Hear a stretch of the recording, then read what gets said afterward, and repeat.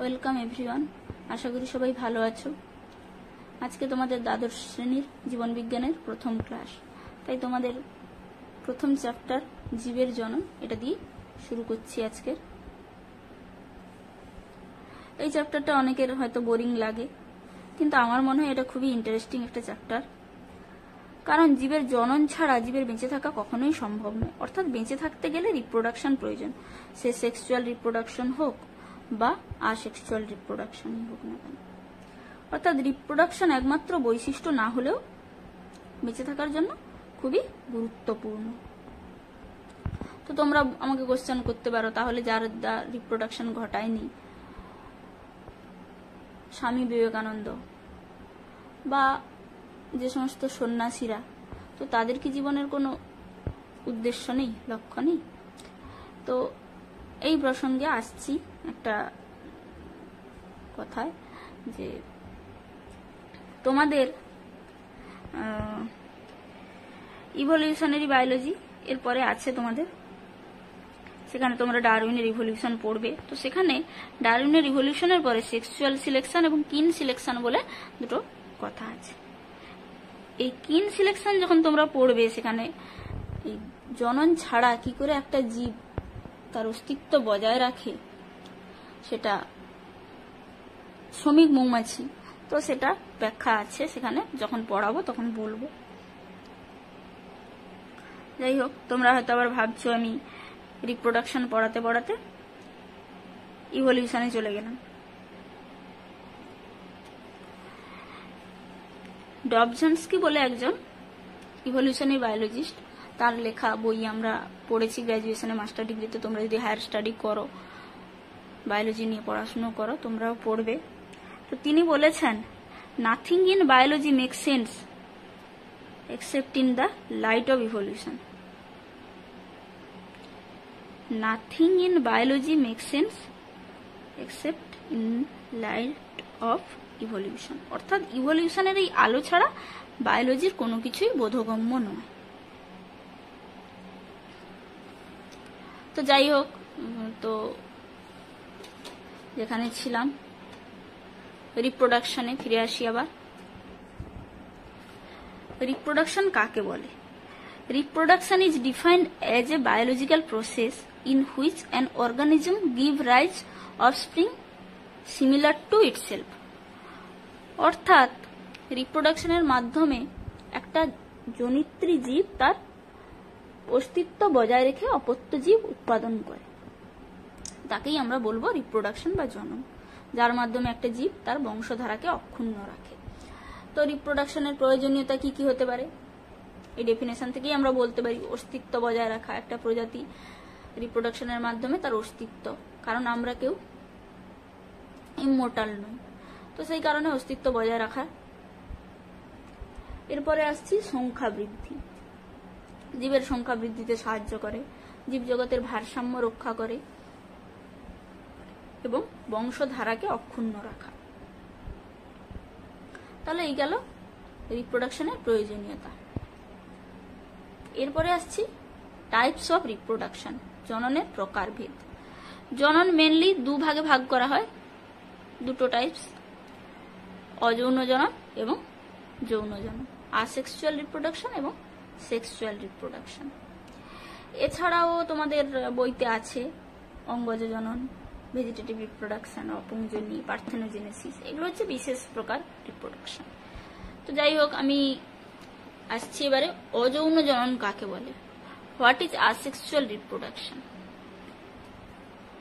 অযৌন জনন হলো জননের যে দুটো পদ্ধতি, অযৌন জনন এবং যৌন জনন, তার মধ্যে সব থেকে সরলতম পদ্ধতি হচ্ছে অযৌন জনন। অযৌন জননের মাধ্যমে, এখানে দেখো এখানে কিন্তু কোনো প্রকার গ্র্যামেট উৎপাদিত হয় না। তোমরা আগে পড়েছো, ক্লাস টেনে পড়েছ, যৌন জনন পড়েছ। সেখানে মেল, ফিমেল প্রয়োজন হয়। কিন্তু অযৌন জনন হলো ইউনিপ্যারেন্টাল। অর্থাৎ এক্ষেত্রে মেল, ফিমেলের দরকার নেই। গ্যামেটের উৎপাদন হয় না। গ্যামেট উৎপাদন ছাড়াই রেণু উৎপাদন এবং দেহকোষের বিভাজনের মাধ্যমে একটা জীব থেকে তার অপত্য জীব সৃষ্টি হয়।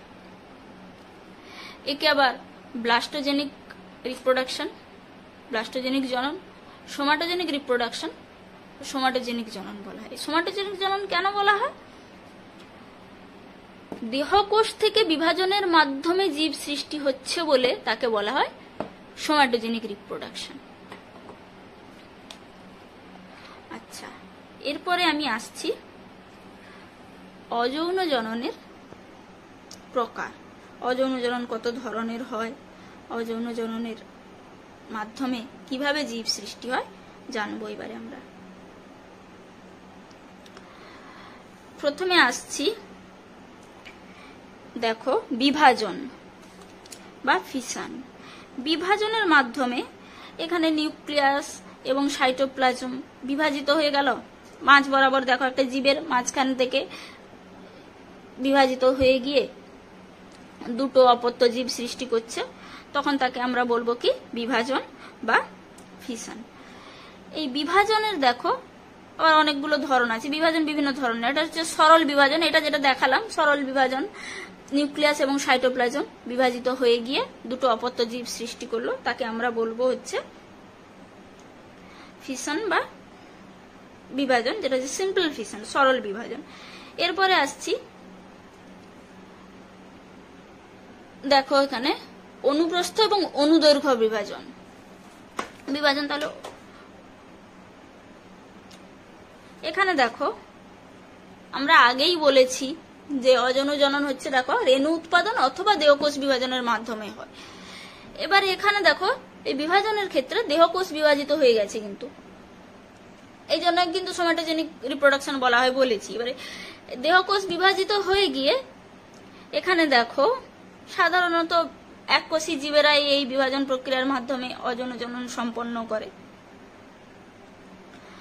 এক্ষেত্রে ধরো এই ব্যাকটেরিয়া, অ্যামিবা, ইউগিলনা, এগুলো হচ্ছে একটি মাতৃকোষের নিউক্লিয়াস এবং সাইটোপ্লাজম বিভাজিত হয়ে অপত্য জীব সৃষ্টি করছে। এবারে যখন দুটো অপত্য সৃষ্টি করল, এখানে দেখো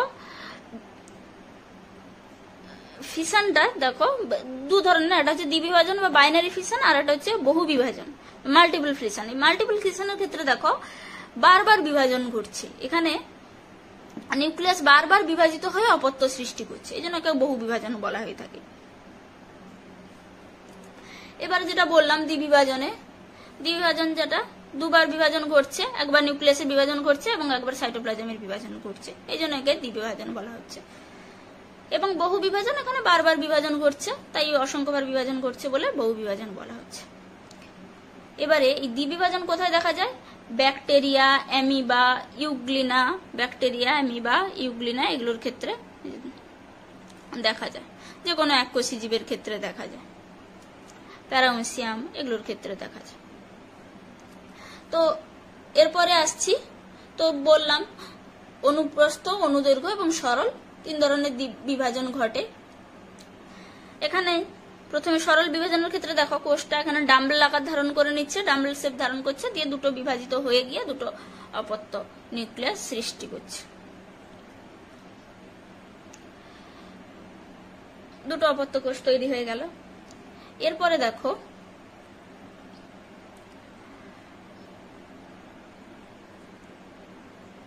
এটা অ্যামিবার ক্ষেত্রেও সরল দ্বিবিভাজন দেখা যায়।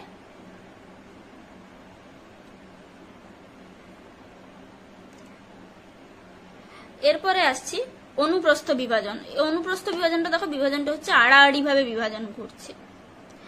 এই জন্য একে বলা হয় অনুপ্রস্থ প্রস্থ বরাবর বিভাজন, এই জন্য বলা হয় অনুপ্রস্থ বিভাজন। এটা এক ধরনের দ্বিবিভাজন এটা প্যারামোসিয়ামের ক্ষেত্রে দেখা যায়।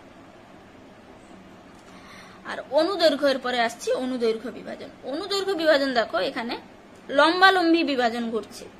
এই দেখো, এটা ইউগ্লিনার ক্ষেত্রে ইউগ্লিনার ক্ষেত্রে মাঝ বরাবর এখানে একটা হচ্ছে ফিশন লাইন সৃষ্টি হচ্ছে লম্বালম্বি ভাবে এবং সেই বরাবর হচ্ছে নিউক্লিয়াস বিভাজিত হয়ে গিয়ে অনুদৈর্ঘ্য বিভাজন দেখা যাচ্ছে ইউগ্লিনার ক্ষেত্রে।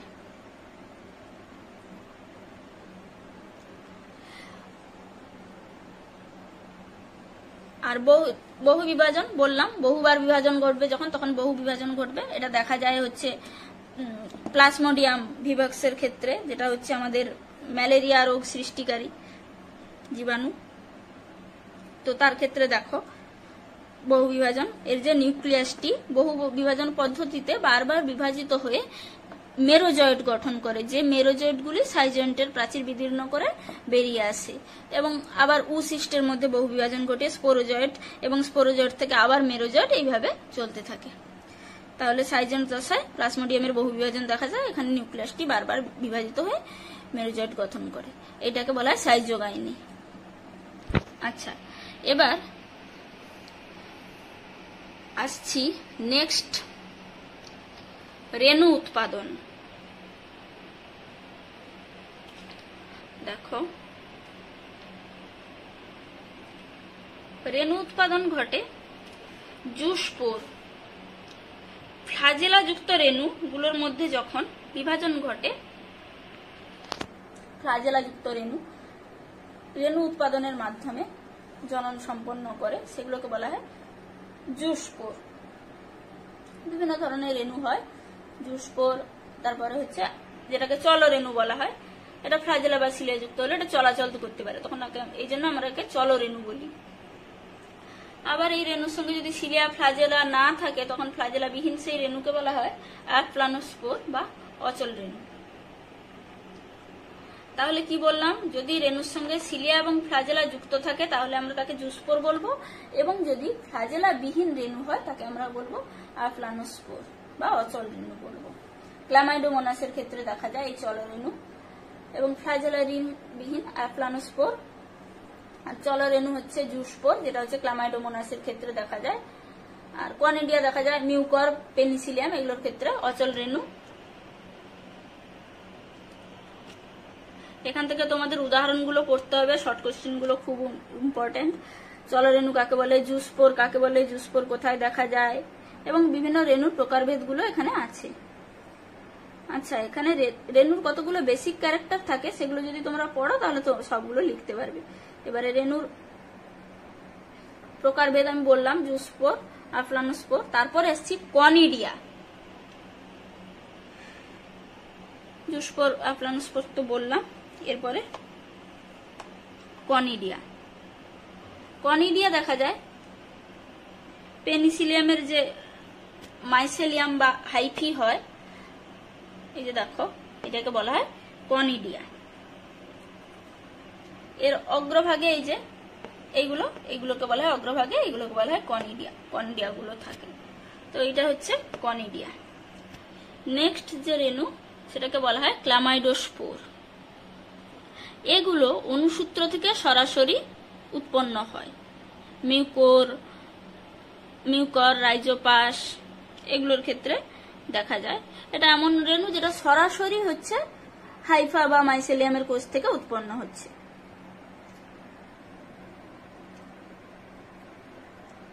এরপরে আসছি ওইডিয়া।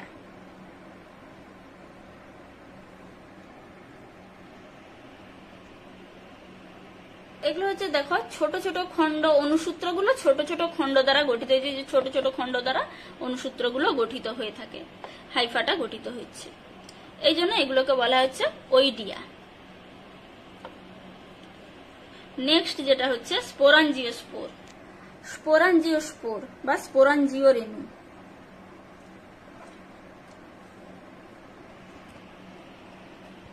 এটা হচ্ছে মিউকোর, রাইজোপাস এটাও ক্লামাইডোস্পোরের মতোরই মিউকোর রাইজোপাসে দেখা যায়। এটাও এক ধরনের অচল রেণু। তো এই হলো রেণু উৎপাদন। তো আমরা বিভিন্ন ধরনের রেণু উৎপাদন সম্পর্কে জানলাম। Zoospore aplanospore conidia, oidia, sporangiospore.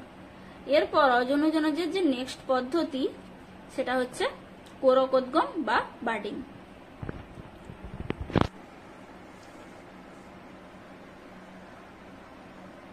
East hydra তো এই কোরকোদ্গম দেখো কোশ্চেন আসে কোরকোদ্গম দেখা যায়। এমন একটি উদ্ভিদের নাম পড়ো, নাম বলো। তো সেটা হচ্ছে ইস্ট আর করকোদ্গম সম্পন্নকারী এমন একটি প্রাণী হাইড্রা এক্ষেত্রে কি হয়? কোরক বা বার্ড উৎপন্ন হয়। এই যে দেখো এখানে। এই যে দেখো। এখানে যে কোরক সৃষ্টি হচ্ছে বার্ড। একটা অসম বিভাজন ঘটেছে। অসম বিভাজনের মাধ্যমে অগ্রভাগে দেখো ওটা বার্ড সৃষ্টি হয়েছে। এই বার্ড বরাবর বিভাজিত হয়ে গিয়ে দুটো অপত্য ইস্ট সৃষ্টি করছে। একেই বলা হয় বার্ডিং বা কোরকোদ্গম। এরপরে আসছি গেমিউল গঠন। গেমিউল গঠন দেখো। আচ্ছা হ্যাঁ কোরকের ক্ষেত্রে এখানে আরেকটা কথা বলে দিই। এই যে বার্ডিং এর ক্ষেত্রে এটা হচ্ছে বার্ডটা সৃষ্টি হয় কিন্তু দেহের বাইরের দিকে। এই জন্য একে বলা হয় exogenous bud. Exo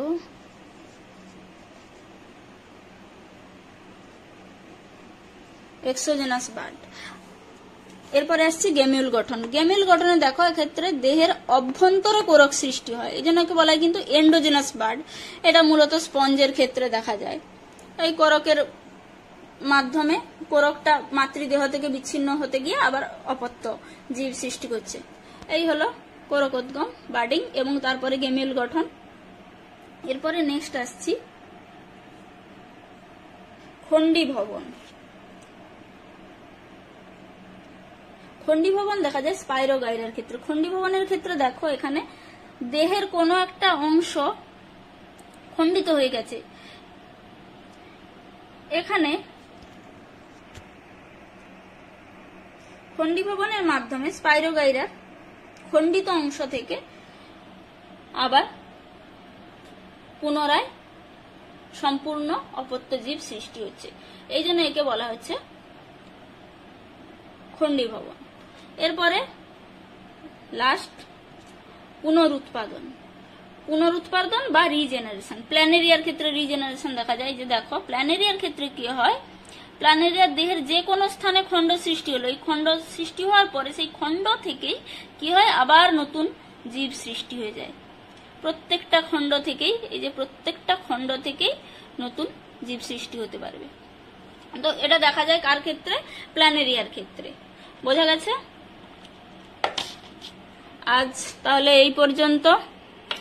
নেক্সট ক্লাসে যৌন জনন পড়াবো। ভালো থাকো সবাই।